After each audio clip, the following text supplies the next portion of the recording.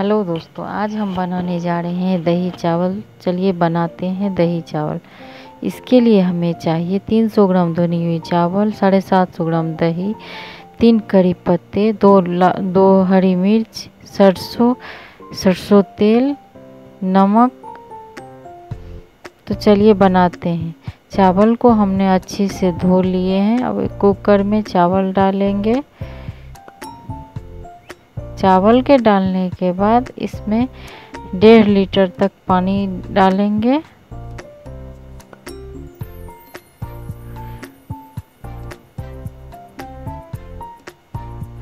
पानी डालने के बाद इसमें नमक डालेंगे।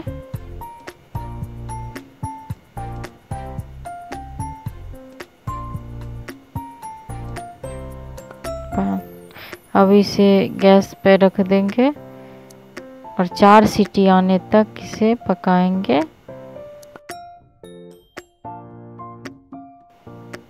दोस्तों, ऐसे ही हम चार सीटी लगा लेंगे।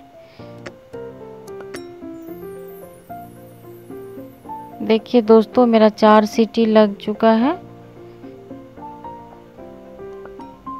अब हम गैस बंद कर देंगे। दस मिनट के लिए इसे ठंडा होने के लिए छोड़ देंगे। दस मिनट हो चुका है। अब हम चलिए, हम देखते हैं खोल के इसमें। दोस्तों, दही हम पहले नहीं डालें क्योंकि हमारा दही फट जाएगा। फिर हम सारा दही को उसमें डाल देंगे और अच्छी तरह से मिला देंगे ताकि हमारा दही पूरे में मिल जाए अच्छे से।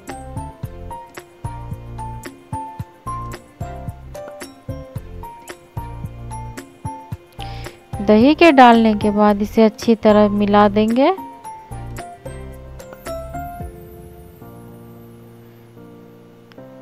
दही के मिलाने के बाद उधर गैस पे हम एक कढ़ाही डालेंगे, जिसमें डालेंगे सरसों तेल।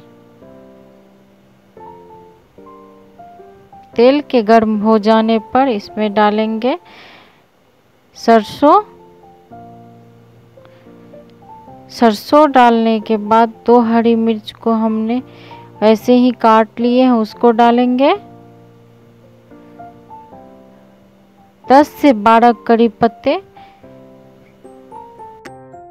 दोस्तों, हमने कड़ी पत्ते को डंठल से अलग करके तरका में कड़ी पत्ता डाल दिए हैं। दोस्तों, हमारा तड़का पक गया, इसे ज़्यादा नहीं पकाएँगे, इसीलिए हम गैस बंद करके इसको हम चला लेंगे। ये देखिए दोस्तों, मेरा तड़का बनके तैयार है।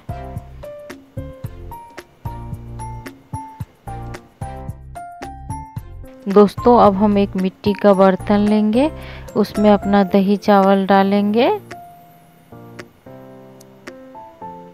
धीरे धीरे करके इस मिट्टी के बर्तन को दही चावल से पूरी तरह भर लेंगे।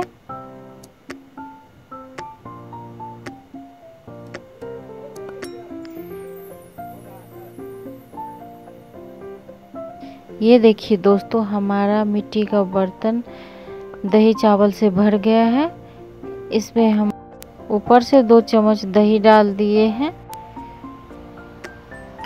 अब इसमें तड़का डाल देंगे। दोस्तों, इसमें तड़का डालने से ये बहुत ही स्वादिष्ट हो जाएगा। ये देखिए दोस्तों, हमारा दही चावल बिल्कुल बन के तैयार है।